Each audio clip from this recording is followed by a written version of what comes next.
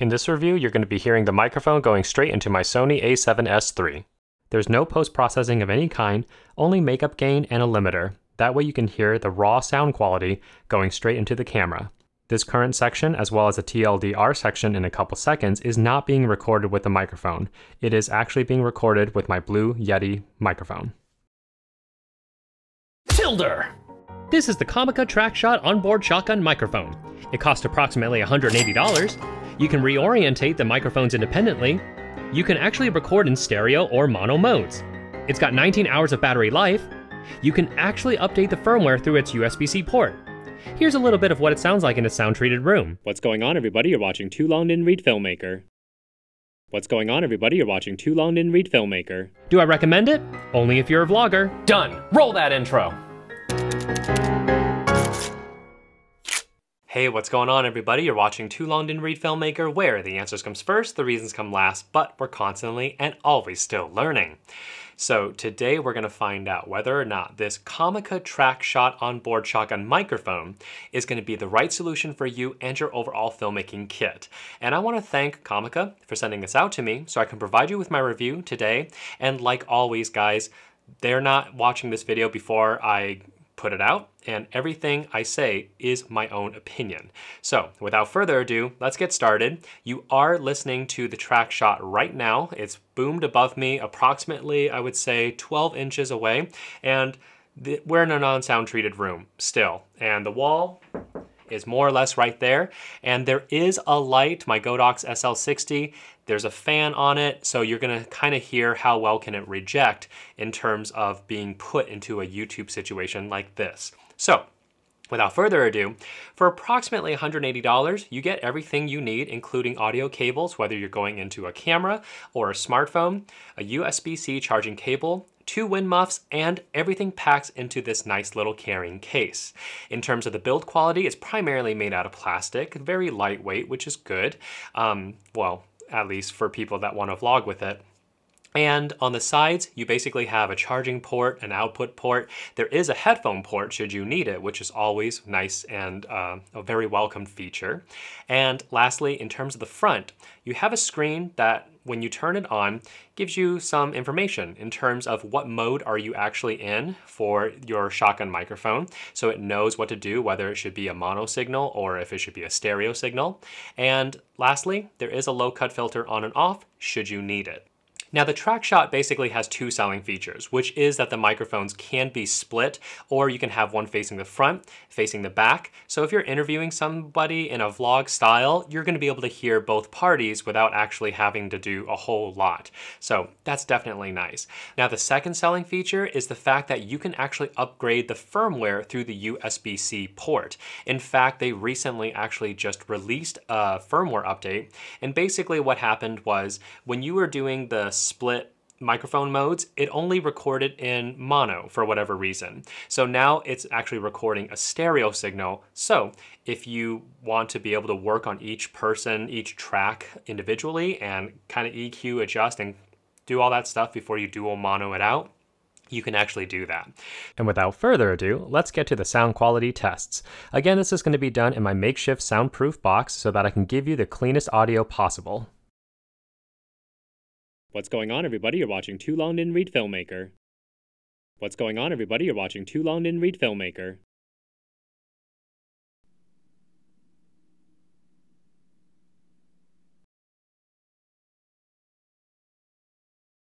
You done messed up, Aaron! You done messed up, Aaron! You done messed up, Aaron! You done messed up, Aaron! You done messed up, Aaron! You done messed up, eh, Aaron! You done messed up, eh, Aaron! You done messed up, eh, Aaron!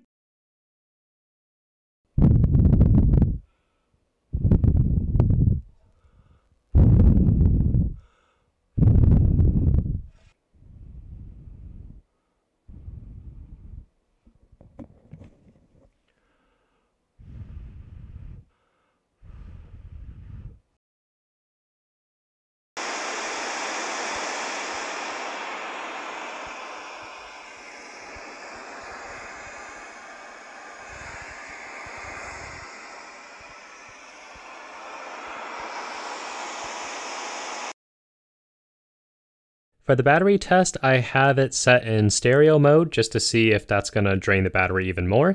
And I also, of course, have a fan blowing at the mic capsule so it's constantly receiving some sort of sound. And with all this done, we are seeing approximately 19 hours of battery life. All right, guys, so in this configuration, what I'm gonna show you is how you could basically use the Traxshot for a podcast situation if you have a live co-host with you. So I do have it at the 90 degree orientation, so you're actually getting a stereo recording. One's pointed at me, one is pointed at my theoretical host, which I don't have here, but who I do have is Nate from Nate's Film Tutorial. Say hello, Nate. What up, son? How's everyone doing? All right, so if you were doing a podcast, I could ask Nate something like, Nate, in terms of your focal length choices, what prime lens or focal length do you find yourself using pretty much like 85% of the time? So we literally just got off a short film project and we had a couple other focal lengths, but the lens that we kept coming back to was the 50 millimeter. And that's a pretty standard lens, no matter if you have Super 35, APS-C, I would say even Micro Four Thirds, 50 millimeter just works. And I mean, I like it. Cool. So there you have it. This is one of the ways you could use the Traxshot. So if you do have this whole co-host situation, you don't need two microphones, you don't need two wireless lavs, literally just one Traxshot oriented this way, and that way you can basically kill two birds with one stone. Okay, so if you're in a vlogging situation and you're using the Traxshot like this and you suddenly flip it around and you, because you see somebody like, holy cow, is that Nate's Film Tutorials? Oh my gosh, is that TLDR filmmaker? So what's the bottom line here? Is this microphone something you should be thinking about for your overall filmmaking kit? And I have to say, it truly just depends on what type of filmmaker you are. So let's break this down real quick. If you are a narrative filmmaker, then I would say Probably not, because there's not really a situation where you, where you would need a microphone like this specifically. I guess if you are strictly on a budget and you want to have two shotgun microphones so that you can do the little thing that I showed you with Nate, then yeah, but I really think that that's probably not what you're doing most of the time. So just having a traditional boom operator moving back and forth is going to get you the much better sound. And in terms of sound quality, I'm going to talk about that a little bit in a second. Now, if you are a YouTuber and you have a setup like this where you're mainly just talking to the camera and this microphone is going to be boomed there and it ain't going to move. If that's the case, I still say I can't necessarily recommend it because there are other options out there that are cheaper that will serve this one function purpose there's just simply too much going on there for it to just be a YouTube microphone. So obviously where this ex excels is a vlogger. If you are hitting the night markets, you're going to street foods, stalls and stuff like that, and you're talking to the camera and then you flip it around and then you're talking to the person that's serving you food or other people you're talking to, then this is probably where it's going to do the best job. Because from a vlogging standpoint, this does quite well in terms of rejecting sound around it and just focusing on what's in front of you. And also the wind muff do a quite a good job, so you should be able to get some decent audio for your vlogging needs. Now, the only thing that I could see that could potentially be a problem, and this completely depends on what kind of vlogger you are, is that you're mostly gonna have the camera pretty close to you at first, and then when you flip it around, um, depending on how close you actually have the camera and what camera you're using, if you're one of those kind of like screaming, talking vloggers that are just really, really excited, nothing wrong with that. But if that's the kind of voice you got, and you have the shotgun microphone pointing like this at your mouth, and you're trying to get someone to talk to you that's maybe three or four feet away from you, well, you're basically going to distort your sound big time. You're going to really clip it because you're way too close to the microphone. Now, there could have been something that Comica could have done with this design to negate that, is to simply give each microphone its own gain.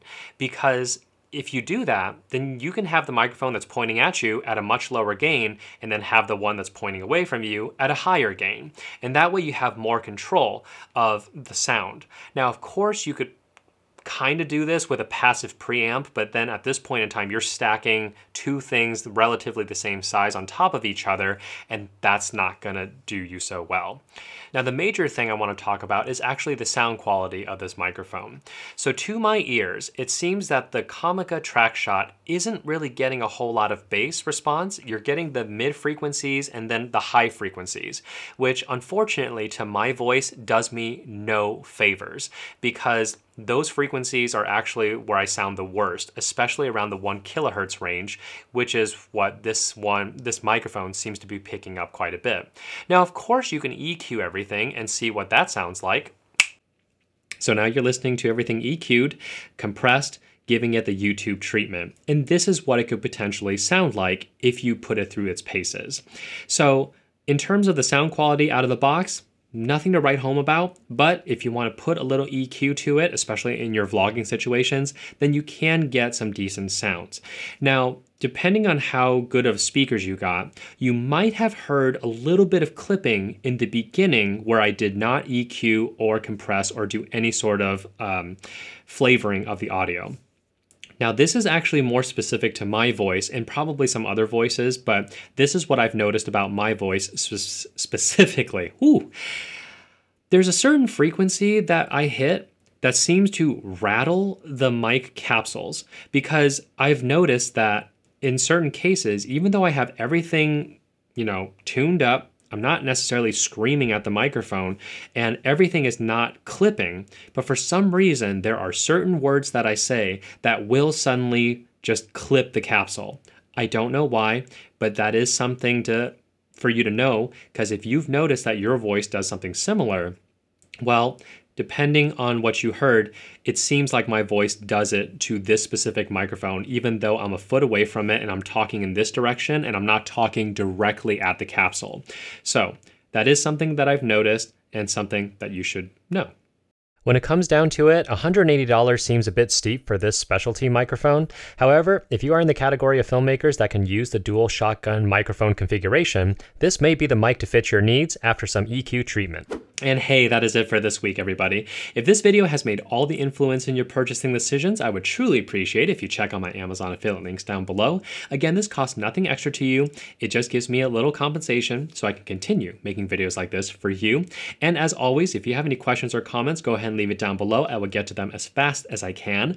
And until then, like, subscribe, and share, and I'll see you guys in the next one.